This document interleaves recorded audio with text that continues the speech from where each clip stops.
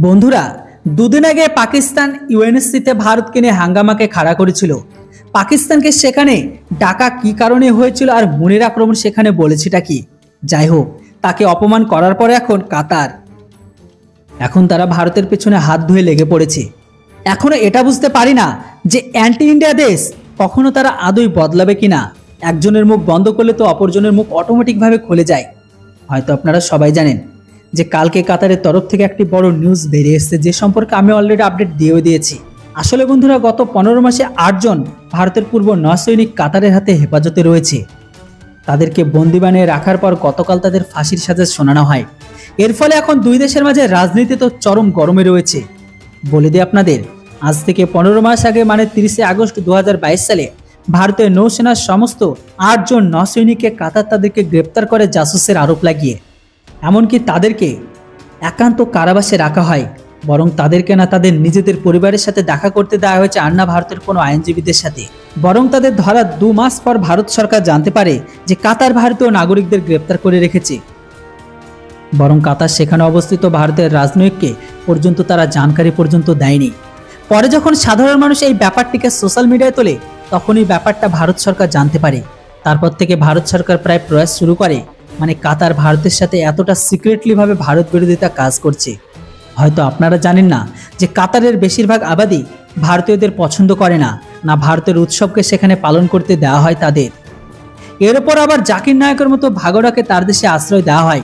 বলা হচ্ছে কাতারের কোর্ট অফ ফার্স্ট এই বিষয়ের ওপর ফাইসালা শুনিয়ে আটজন পূর্ব ভারতীয় নৌসেনাকে ফাঁসির সাজা দিয়ে দিয়েছে।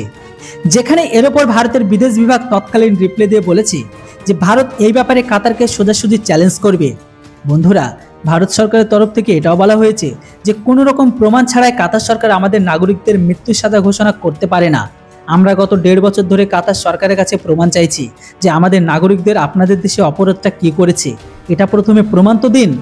কিন্তু শুধুমাত্র বলাতে এটা কখনো প্রমাণ হয় না যে আমাদের নাগরিক ইসরায়েলের হয়ে জাসুসি করছিল।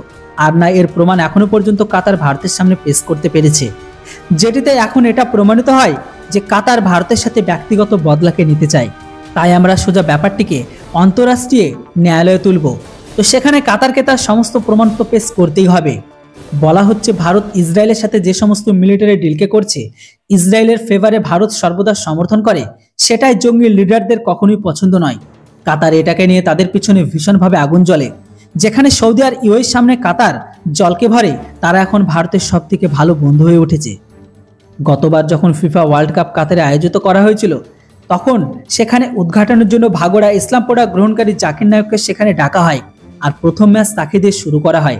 তখন ভারত কাতারকে এক হাত নিয়ে খুব বলেছিল যে ভাগোড়া জাকির নায়ককে দিয়ে কীভাবে ফিফার মতন এত বড় প্রোগ্রামকে উদ্বোধন করায়। হয়তো তারই রাগ আর ইসরায়েলকে ভারতের এখনকার সাপোর্ট বা সমর্থন। সেই রাগ ভারতীয় এই আট সেনার উপর তুলতে চাচ্ছে। যদিও ইন্ডিয়ান নেভি ফাইসালাতে অনেক রাগান্বিত। তারপরে পরবর্তী স্টেপের জন্য ভারত সরকারের অপেক্ষায় রয়েছে। যদিও একরকমভাবে দেখলে ভুল তো এই আটজন নৌসেনারও রয়েছে। কি দরকার দুই পয়সা বেশি কামানোর জন্য কাতারে যাওয়া? তাদের দরকারই বা কী ছিল? তারা চাইলে তো দেশে থেকে ভারতের নতুন নেভি পার্সনদের ট্রেনিং দিয়ে ভারতে মান, সম্মান, পয়সা দুটোই পেত। এমন দেশে যাওয়ারই বা কী দরকার ছিল যারা সর্বদা বিরোধিতা করে? বন্ধুরা, এবার আপনারাই বলুন, পুরো বিষয়টির উপর ভারত সরকার এখন কোন স্টেপকে নেওয়া উচিত? এ বিষয়ে অবশ্যই আপনাদের মতামত কমেন্ট বক্সে লিখে জানান। ইসরায়েল আর হামাসের লেটেস্ট আপডেট পাওয়ার জন্য অবশ্যই চ্যানেলটিকে সাবস্ক্রাইব করে রাখুন। थैंक्स फॉर वॉचिंग जय हिंद बंदे मातरम